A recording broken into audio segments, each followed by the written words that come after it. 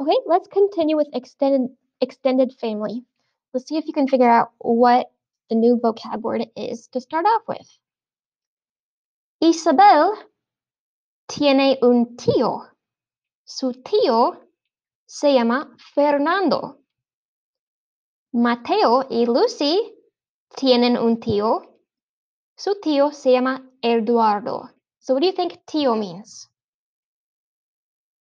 Uncle. So how would we say aunt?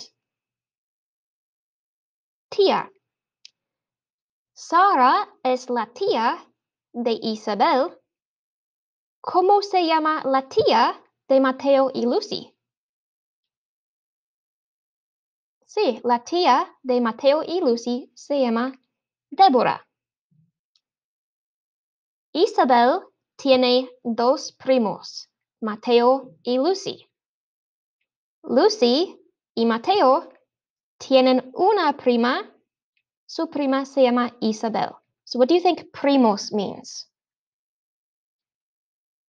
Cousins. So let's practice a little bit more. ¿Cómo se llama el tío de Isabel? Sí, el tío de Isabel se llama Fernando. ¿Cómo se llama la tía de Lucy?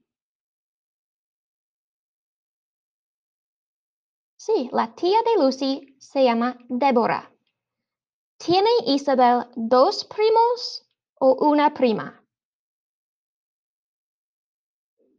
Sí, Isabel tiene dos primos, Mateo y Lucy. ¿Quién es la prima de Mateo y Lucy? Sí, Isabel es la prima de Mateo y Lucy. Lucy, excuse me. Ok, excelente. Adiós.